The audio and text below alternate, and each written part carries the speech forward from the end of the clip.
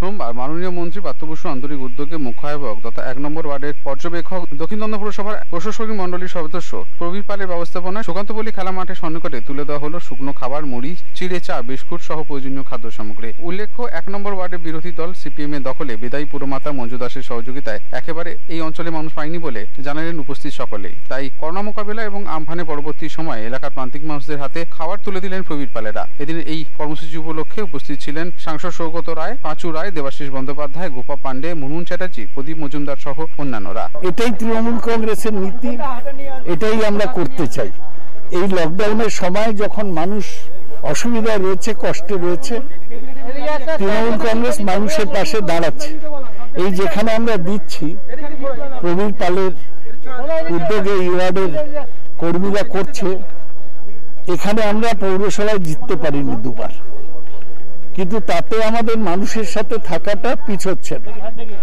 এখানে আমরা দিনের পর দিন রান্না করা খাবার দিয়েছি, আমাদের কর্মীরা। তারপর আবার শুকনো রেশন দিচ্ছে। আজকে আবার আপনি দেখছেন মুড়ি, চিড়ে, দুধ, চা এইসব দিচ্ছেন। এটা হচ্ছে মানুষের সাথে থাকার আমাদের যে প্রতিশ্রুতি, সেটাই পূরণ করা, এটাই মমতা ব্যানার্জির শিক্ষা তার প্রবীর এখানে অবজারভার এই ওয়ার্ডের। সুতরাং এখানে আপনারা দেখতে পাচ্ছেন যে লকডাউনের শুরুর থেকেই এখানে কখনো খাদ্য সামগ্রী দেওয়া, কখনো রান্না করা, খাবার দেওয়া ও দক্ষিণ দমদমের প্রত্যেকটা ওয়ার্ডেই এরকম কাজ চলছে। আমরা শুধুমাত্র যে রাস্তাঘাট, জল, আলো এগুলো নিয়ে রাস্তায় থাকি তা না যে কোনো বিপর্যয় মানুষের পাশে থাকাটা তৃণমূল কংগ্রেসের নৈতিক দায়িত্ব মনে করি আমরা।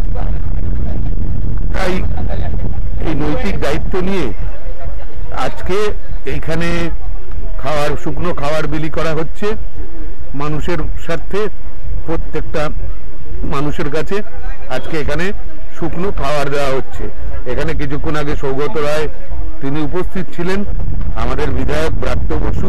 না দেবাশিস বন্দ্যোপাধ্যায় কিছু নেই, একটাই কথা, মাননীয় মুখ্যমন্ত্রী শ্রীমতী মমতা বন্দ্যোপাধ্যায় যবে থেকে কোভিড নাইন্টিন এই বিষয়টা নিয়ে গোটা দেশ তোলপাট তখন মুখ্যমন্ত্রী সবার আগে যেভাবে পথে নেমেছিলেন এবং সাধারণ মানুষের দুর্দশা, গোচাবার কথা বলেছেন তারপরে যখন দেখলাম আমফানের মতো একটা বিধ্বংসী ঘটনা ঘটে গেল, তখনও মমতা বন্দ্যোপাধ্যায় যেভাবে মানুষের পাশে আমাদের সমস্ত দলীয় নেতৃত্বকে দাঁড়াতে বলেছেন, সেই নেতৃত্ব আমাদের দমদমের মাননীয় বিধায়ক অধ্যাপক শ্রী ব্রাত্য বসু মহাশয়।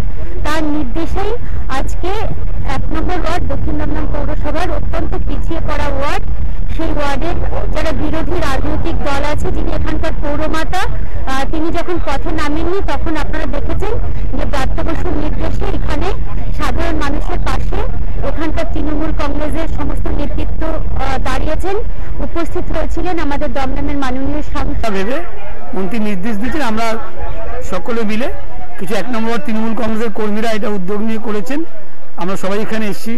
সৌগতদা, প্রদীপ মজুমদার, দেবাশিস ব্যানার্জি, গোপা পাণ্ডে, মুনমুন চ্যাটার্জি, দয়াময় ভট্টাচার্য, আমাদের চেয়ারম্যান পাচু রায়, এই ওয়ার্ডের মানুষদের শুকনো খাবার দেওয়া হচ্ছে। এর আগে মন্ত্রীর নির্দেশে আমাদের লকডাউনের সময় রান্না করা খাওয়া, চাল, ডাল। Report, channel ten.